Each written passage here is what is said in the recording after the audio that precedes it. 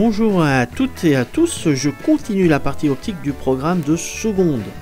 Et après le modèle du rayon lumineux, on va l'utiliser pour parler réflexion et réfraction. Ça vous va? Allez, c'est parti. On commence par la réflexion.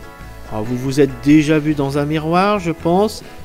Eh bien, c'est typiquement l'exemple de la réflexion de la lumière. Quand vous regardez dans le miroir, ce que vous voyez, ce sont les rayons lumineux qui sont réfléchis par la surface du miroir. C'est ainsi que vous pouvez voir ce qui n'est pas directement en face de vous. Avec notre modèle du rayon lumineux, c'est simple à modéliser. Un rayon lumineux arrive à la surface, il est réfléchi, il rebondit si on veut imager plus simplement, et il repart dans une direction différente. Alors attention, il ne va pas aller n'importe où. Par rapport à la normale à la surface, l'angle du rayon réfléchi sera le même que l'angle du rayon incident. Incident, c'est le rayon qui arrive. C'est vraiment comme une balle qui arrive sur un mur et qui rebondit. Voilà, c'est vraiment simple la réflexion. Passons à la réfraction. Vous avez déjà mis une paille dans l'eau et vous avez déjà constaté qu'elle semblait cassée.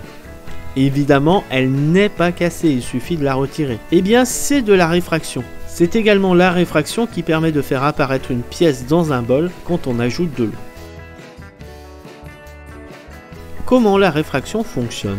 Déjà, il faut qu'on soit en présence de deux milieux différents. Et au passage de la surface de séparation, c'est ce qu'on appelle le dioptre, la lumière est déviée. Une fois qu'elle est déviée, elle continue dans le nouveau milieu, mais en ligne droite. Vous vous souvenez, c'est le modèle de la lumière. Hein? Là encore, on peut mesurer expérimentalement les angles du rayon incident et du rayon réfracté par rapport à la normale à la surface. Et dans le cas de la réfraction, les deux angles ne sont pas égaux. On a une relation qui lie ces deux angles et qui est n1 fois sinus i1 égale n2 fois sinus i2. C'est la loi de Snell-Descartes. Avec i1 l'angle d'incidence et i2 l'angle réfracté. N1 et N2, ce sont les indices de réfraction des milieux. L'indice de réfraction caractérise un milieu. L'indice de réfraction du vide est 1, tout pile. L'indice de réfraction de l'air est environ 1. La conséquence de cette relation est que lorsqu'on passe d'un milieu ayant un indice de réfraction plus petit que le deuxième milieu, alors l'angle d'incidence est toujours plus grand que l'angle réfracté, quel que soit l'angle d'incidence qui va de 0 à 90 degrés. Inversement, quand l'indice de réfraction du premier milieu est supérieur à celui du deuxième milieu, l'angle d'incidence est toujours plus petit que l'angle réfracté. Mais là, on a un angle d'incidence limite pour lequel l'angle réfracté est égal à 90 degrés. Et au-delà de cet angle d'incidence, eh bien la réfraction n'est plus possible. Et le dioptre se comporte alors comme un miroir. C'est ce qu'on appelle la réflexion totale.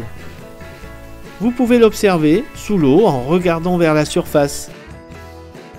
Il y a des angles pour lesquels vous voyez le fond, mais vous ne voyez pas ce qui est au dehors de l'eau.